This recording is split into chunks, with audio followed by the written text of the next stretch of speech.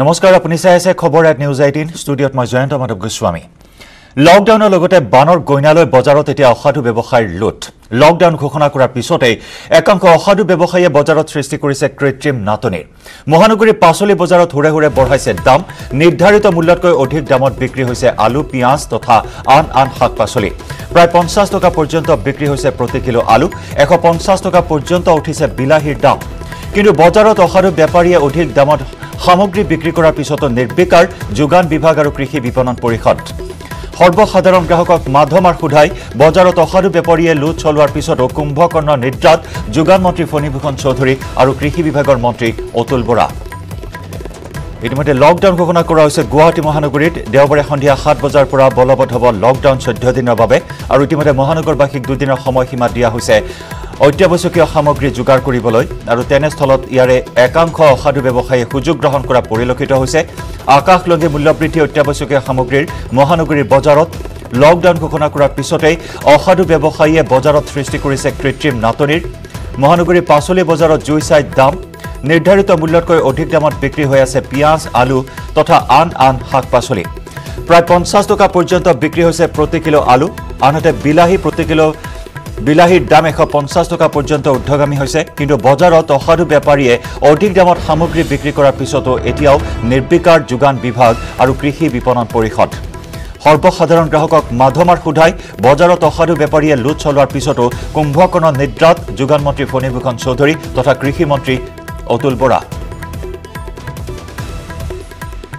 মূল্য বৃদ্ধিটো বহুত বাঢ়িছে আজি চব্জিৰ দাম মানে আপোনাৰ নহৰু নহৈছে এতিয়া চাৰে তিনিশ টকা কিলো আদা হৈছে চাৰে তিনিশ টকা কিলো বন্ধাকবি একশ জিকা একশ চবৰে দাম বাঢ়ি আছে এতিয়া। সক্ষম নহয় এইটো কিনিবলৈ। সমস্যা হৈছে বহুত হৈছে সমস্যা বহুত দাম বাঢ়িছে বস্তুৰ। এই লকডাউনৰ সুযোগ লৈ ব্যৱসায়ী ব্যৱসায়ীখিনিয়ে দ্বিগুণ দাম কৰিছে আলুৰ দাম পিঁয়াজৰ দাম চব্জিৰ দাম তিন দুই গুণ তিনি গুণ কৰি দিছে।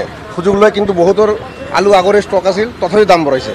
নিশাৰ ভিতৰত কাৰণ কালি ঘোষণা কৰিছে লকডাউন তাৰ পাছতে তাৰপিছতে এই অৱস্থা হৈছে ইচ্ছাকৈ দাম বঢ়াইছে চবে। মই প্ৰশাসনক এইটো কথা ক'ব খুব বিচাৰিছোঁ যে সিহঁতে আহক একবাৰ চাওক বজাৰত কি অৱস্থা হৈ আছে। এতিয়া মানুহৰতো কোনো উপায় নাই নহয়। চল্লিছ টকা আলুৰ কিলো লৈ আছে পিঁয়াজ বজাৰত নাই কৈ আছে।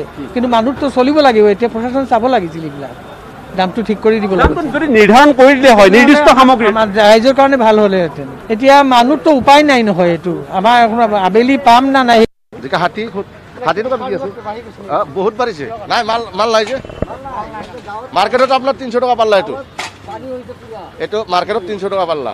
আমি সত্তৰ একদিন দুদিন যোৱাকালিৰ পৰা বাঢ়িছে। লকডাউন নাই যোৱা নাই সেইটো নহয়। এই আপোনাৰ ফেঞ্চি বজাৰ বন্ধ হৈছে না? তাত মাল আনলোড গা অঁ এই যিকেইদিন পৰা ফেঞ্চি বজাৰ বন্ধ হৈছে এইকেইদিনৰ পৰা আপোনাৰ এ- এ, চব একে দাম। এইটো তো সত্তৰ আশী ষাঠি।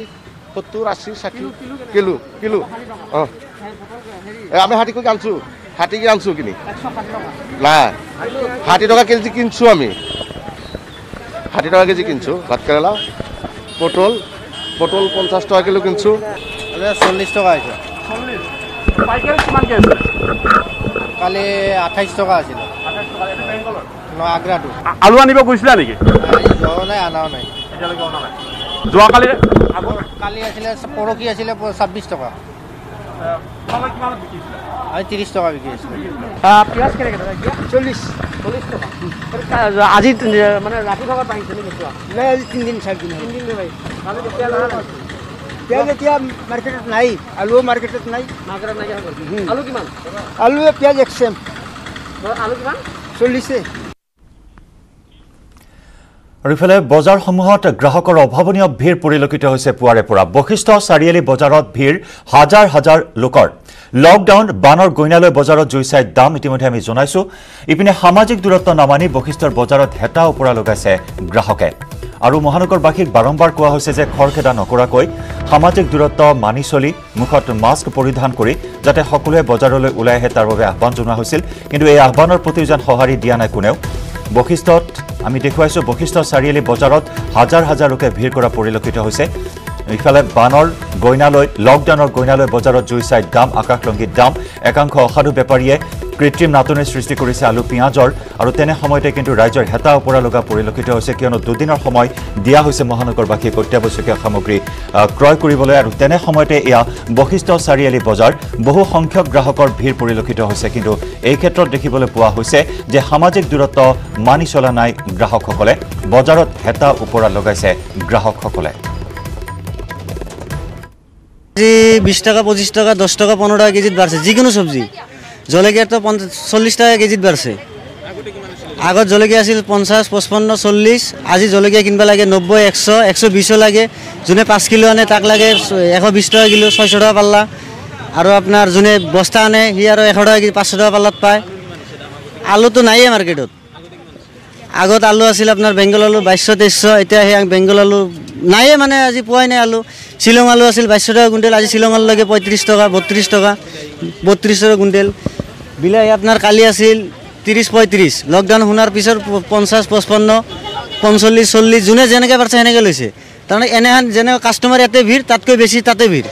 মানে যিকোনো চব্জি পিঁয়াজে বাঢ়িছে চাৰি টকা পাঁচ টকা কেজিত কাষ্টমাৰে কিনি আছে গালি খাই আছোঁ আমি। আৰু ইফালে নগাঁৱতো লকডাউনৰ নিয়ম ভংগ একাংশৰ। লকডাউন অমান্যকাৰীৰ বিৰুদ্ধে কঠোৰ আৰক্ষী নিয়ম অমান্য কৰি ঘূৰি ফুৰাসকলক লাঠি চালনা কৰে আৰক্ষীয়ে। টাউন কমিটি আৰু পৌৰ এলেকাত ঘোষণা কৰা হৈছিল দুদিনীয়া লকডাউন আৰু আজিৰে পৰা প্ৰতি সপ্তাহৰ শনিবাৰ আৰু দেওবাৰত থাকিব লকডাউন আৰু ইতিমধ্যে পৌৰ এলেকাসমূহত যি লকডাউন প্ৰযোজ্য হৈছে বলবৎ কৰা হৈছে টাউন কমিটি আৰু পৌৰ এলেকাত আৰু সেই সময়ছোৱাত দেখিবলৈ পোৱা হৈছে নগাঁৱত একাংশই এই লকডাউনৰ নীতি নিয়ম উলংঘা কৰিছে আৰু এই অমান্যকাৰীসকলৰ বিৰুদ্ধে কঠোৰ হোৱা পৰিলক্ষিত হৈছে আৰক্ষী প্ৰশাসনক। নিয়ম অমান্য কৰি ঘূৰি ফুৰাসকলক লাঠি চালনা কৰিবলৈ বাধ্য হৈছে আৰক্ষী। নগাঁৱৰ পৰা আমাৰ সাংবাদিক নীলোৎপল বৰাৰ সৈতে আমি পোনপটীয়া সম্প্ৰচাৰত সংযুক্ত হৈছোঁ। নীলোৎপল ইতিমধ্যে উইকেণ্ড লকডাউনৰ কথা ঘোষণা কৰা হৈছে। মহামাৰী কৰোণা ভাইৰাছৰ সংক্ৰমণ প্ৰতিৰোধৰ প্ৰতি লক্ষ্য ৰাখি কিন্তু এতিয়াও যেন সজাগ হোৱা নাই একাংশ লোক। নিশ্চয় নিশ্চয়। জয়ন্ত কথা ক'ব লাগিব যে নগাঁৱত দেখিবলৈ পোৱা গৈছে লকডাউন অমান্যকাৰীৰ বিৰুদ্ধে। এ, আজি পুৱাৰে পৰা আৰক্ষীক যথেষ্ট কঠোৰ হোৱা দেখিবলৈ পোৱা গৈছে। আৰু মই দেখুৱাইছোঁ এখন ট্ৰাক মই দেখুৱাইছোঁ। এই zero' two E six three eight three এই ট্ৰাকখনত দহজনকৈ লোক লোকক আনিছিলে এখন যি যি সামগ্ৰী কঢ়িয়াই ট্ৰাকে। আৰু তাৰপিছতে আৰক্ষীয়ে আবদ্ধ কৰি ৰাখিছে। যথেষ্ট কঠোৰ হোৱা দেখা গৈছে পুৱাৰে পৰা কাৰণ যিহেতু বহুবাৰ কৈ থকাৰ পিছতো যে বহু যথেষ্ট লোকে এইসমূহ নিয়ম উলংঘা কৰিছে। আৰু যি বৰ্তমান ট্ৰাকখন আবদ্ধ কৰি বৰ্তমান আৰক্ষীয়ে বৰ্তমান এই ট্ৰাকখন আবদ্ধ কৰি ৰাখিছে। আৰু মই যিগৰাকী ট্ৰাক চলাই আছে তেওঁৰ পৰা জানিবলৈ চেষ্টা কৰিম। ক'ৰ পৰা আহিছে আপুনি? ইমান দহজন মানুহ লৈ পেলাই কি আহিছে? সিহঁতে মানে লুট কৰি এৰি দিয়ে আজি গাড়ী নাই যে। এতিয়া আপোনাৰ ইমান মানুহটো ট্ৰাকত ইমান মানুহ আনিব নোৱাৰে। এইটো মানে আজি। গাড়ী পোৱা নাই সেইকাৰণে সিহঁতে আহিছে নহ'লে নাহে গাড়ী লুট কৰি এৰি দিয়ে। নিশ্চয় মই আৰক্ষী আছে মই আৰক্ষীৰ লোকৰ পৰা জানিবলৈ চেষ্টা কৰিম। এঘাৰ পাছত হেমন্ত বৰ্তমান পৰিৱেশ দেখুৱাই আছে বৰ্তমান। মই আমি পুনৰ জানিবলৈ চেষ্টা কৰিম কাৰণ যিহেতু দেখুৱাই আছে বৰ্তমান ইয়াত পুৱাৰে ভাগৰ পৰা আৰক্ষীয়ে বৰ্তমান ইয়াত যথেষ্ট ইয়াত ইয়াত বৰ্তমান প্ৰতিখন গাড়ীকে তদন্তলৈকে তালাচী কৰিছে। যিসকলে মাস্ক পৰিধান কৰা নাই তেওঁলোকৰ বিৰুদ্ধেও ব্যৱস্থা গ্ৰহণ কৰিছে। মই আপোনাৰ পৰা চেষ্টা কৰিম বৰ্তমান আপোনালোকে ৰাতি পুৱাৰে পৰা আপোনালোক ইয়াত কৰ্তব্যত নিয়োজিত হৈ আছে। এইখন ট্ৰাক হেঁচা ঠেলাকে বহু লোক আনি- আনিছে আপোনালোকে বৰ্তমান আটক কৰিছে। হয় হয়। খেলা আমি চাইছোঁ এতিয়া লকডাউনত তেওঁলোক গাড়ীখন লৈ আহিছে এইটো মৰিকলমৰ পৰা তাত ড্ৰাইভাৰ ছিটৰ লগত থকাটো তেওঁলোকে লগত ড্ৰাইভাৰৰ সৈতে দহজন মানুহ আহিছে। গতিকে তেওঁলোকক নমাই তেওঁলোকৰ যোনবিলাকে মাছ পিন্ধা নাই তেওঁলোককো সতৰ্ক বাণী শুনাই দিছোঁ। আৰু গাড়ীখন যিহেতু এটা গল্টি কৰিছে তেওঁলোকক আমি বিহিত ব্যৱস্থা ল'বৰ কাৰণে আমি গাড়ীটো ৰাখিছোঁ। ৰাখি পিছত তেওঁলোকক ব্যৱস্থা ল'ম। আৰু মাস্ক পিন্ধা যিখিনি হেৰি কৰা নাই তেওঁলোকৰ মানুহখিনি আমি পঠাই দিয়াৰ কাৰণে কাৰণ তেওঁলোককতো ৰাখিব নোৱাৰোঁ লেবাৰ হয় যিহেতু। গাড়ীখনৰ আমি মালিকৰ ওপৰত বা ড্ৰাইভাৰৰ ওপৰত কি ব্যৱস্থা ল'ব পৰা যায় আমি সেইটো আমি নিজেই গ্ৰহণ কৰিম। নিশ্চয় নিশ্চয়। বৰ্তমান এটা কথা ক'বলৈ জয়ন্ত মানুহ বাৰে বাৰে ৰাইজক বুজনি দিয়া হৈছে যে কোনো কাৰণতে যিহেতু দেখিবলৈ পোৱা গৈছে যে এ, গণসংক্ৰমণৰ কথা আছে বিভিন্ন ঠাইত যিহেতু নগাঁৱত বিশেষকৈ তিনিগৰাকীকৈ ব্যক্তি তেওঁলোকৰ ভ্ৰ- ভ্ৰমণ বৃত্তান্ত নাছিলে। আৰু মই দেখুৱাইছোঁ আন এখন গাড়ী। এইখন গাড়ীটো বৰ্তমান দেখুৱাইছোঁ যথেষ্ট সংখ্যক লোক আহিছে। এইদৰে বৰ্তমান যি বাৰে বাৰে কোৱা হৈছে যে সামাজিক দূৰত্ব বজাই ৰাখিব তাৰপিছতো কিন্তু বৰ্তমান দেখিবলৈ পোৱা গৈছে। মই দেখুৱাইছোঁ শিশুক লৈ পেলাই বৰ্তমান এইদৰে আহিছে। গতিকে আৰক্ষীয়ে প্ৰতিটো যি প্ৰতিটো দৃশ্যাংশই প্ৰতিটো ঘটনাৰ বৰ্তমান তদন্ত কৰিছে প্ৰতিটো প্ৰতিজন ব্যক্তিকে অনুৰোধ কৰিছে আৰু যিসকলে বনায় তেওঁলোকৰ বিৰুদ্ধে কঠোৰ হ'বলৈ বাধ্য হৈছে। আপোনালোক ক'ৰ পৰা আহিছে? আপোনালোক ক'ৰ পৰা আহিছে? চিভিলৰ পৰা আহিছে। সৰু ল'ৰা ছোৱালী লৈ আহিছে মাস্ক পিন্ধা নাই। মাছ মানে ভৰি কাটি গৈছে ঘৰ দৰ কৰি লৈ আহিছো মানে হেৰি ক'ত যাব? নিশ্চয় মই দেখুৱাইছোঁ বৰ্তমান এইদৰে বৰ্তমান নগাঁৱত পুৱাৰে পৰা আৰক্ষীয়ে বৰ্তমান আজি পুৱাৰ ভাগত লাঠি চালনা কৰিবলৈ বাধ্য হৈছিলে। আৰু বৰ্তমান আমি নগাঁও মহাবিদ্যালয়ৰ সমীপৰ পৰা আমি দেখুৱাই আছোঁ নগাঁও মহাবিদ্যালয়ৰ সমীপতো। আৰক্ষীয়ে প্ৰতিখন বাহনকে তালাচী কৰিছে প্ৰতিজন ব্যক্তিকে অনুৰোধ কৰিছে যাতে কোনেও মাস্ক পৰিধান নকৰাকৈ নাহে সামাজিক দূৰত্ব বজাই ৰাখে আৰু অলাগতিয়াল কামত যাতে ওলাই নাহে। আৰু অলাগতিয়াল কামত ওলাই অহাৰ বিশেষকৈ নীলোৎপল আছে, কামত যাতে কোনেও ওলাই নাহে তাৰ বাবে আহ্বান জনোৱা হৈছে। নীলোৎপল মাত্ৰ দুদিনৰ বাবে দুদিনৰ বাবে ধৈৰ্য ধৰিবৰ বাবে আহ্বান জনোৱা হৈছে। এইসকল লোকক বা নগাঁওবাসী জনতাক টাউন কমিটি আৰু পৌৰ এলেকাৰ বাসিন্দাসকলক কিন্তু এই ক্ষেত্ৰত ৰাইজে সহায় সহযোগিতা আগ নবঢ়ালে এই ভি- এই- এই যুঁজখন কিন্তু আগুৱাই যোৱাত অসম্ভৱ হৈ পৰিব। নিশ্চয় জয়ন্ত হয় কাৰণ ৰাইজে যদি- যদিহে ৰাইজে সহযোগিতা আগনবঢ়ায় কাৰণ ৰাইজৰ কাৰণে যিহেতু ব্যৱস্থা লোৱা হৈছে আৰু আমি দেখুৱাইছোঁ পুৱাৰ ভাগৰ পৰা আৰক্ষীয়ে ব্যৱস্থা লৈছে আৰক্ষীয়ে মই দেখুৱাইছোঁ বৰ্তমানো আৰক্ষীৰ যি পেট্ৰলিঙৰ আমি বাহন দেখুৱাবলৈ চেষ্টা কৰিম।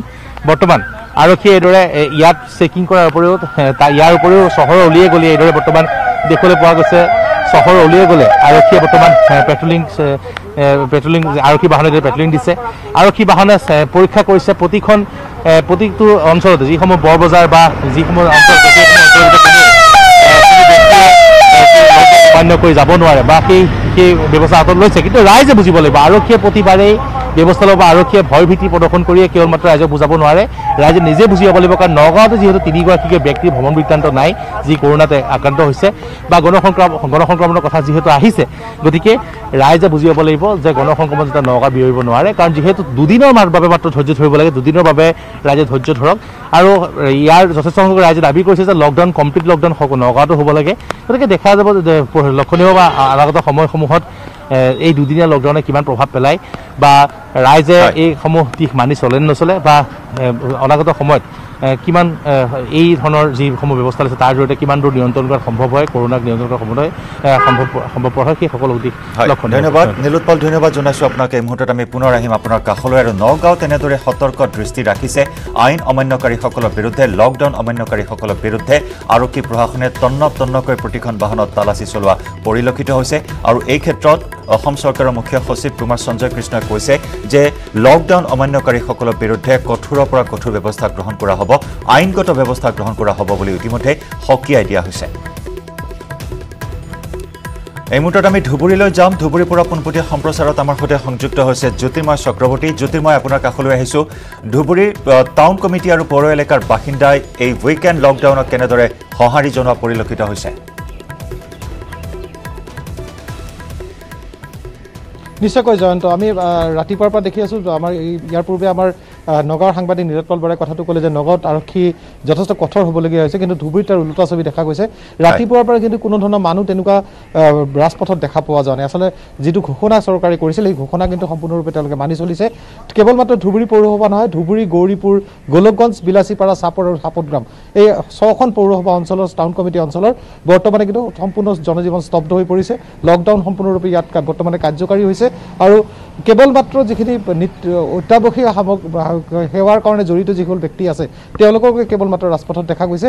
আনহাতে ঔষধৰ দোকান আৰু পেট্ৰল পাম্প তাৰ বাহিৰে কিন্তু সকলো ব্যৱসায়িক প্ৰতিষ্ঠান বৰ্তমানে সম্পূৰ্ণৰূপে বন্ধ হৈ আছে। মই পুনৰ উল্লেখ কৰিছোঁ জয়ন্ত এটা কথা যে এই লকডাউনৰ সময়ছোৱাত আচলতে এই উইকেণ্ড লকডাউনৰ সময়ছোৱাত ৰাতিপুৱাৰ পৰা দেখা গৈছে কোনো ধৰণৰ কোনো মানুহৰ কিন্তু তেনেধৰণৰ সমাগম ৰাজপথত দেখা পোৱা নাই। তাৰ লগে লগে আৰু এটা কথা উল্লেখ কৰিবই লাগিব যিহেতু লকডাউনৰ লগে লগে বানপানী আচলতে এটা প্ৰভাৱ পৰিবলৈ আৰম্ভ কৰিছে। ব্ৰহ্মপুত্ৰৰ পানী স্তৰ বিপদসীমাত ওপৰলৈ ববলৈ আৰম্ভ কৰিছে। সেইকাৰণে ধুবুৰীৰ পৰা দক্ষিণ চালমাৰা মানকাষ্টৰলৈকে যোগাযোগকাৰী যিসমূহ নাও সেৱা আছিলে সেই নাও সেৱা সম্পূৰ্ণ কৰি বন্ধ কৰি দিয়া হৈছে।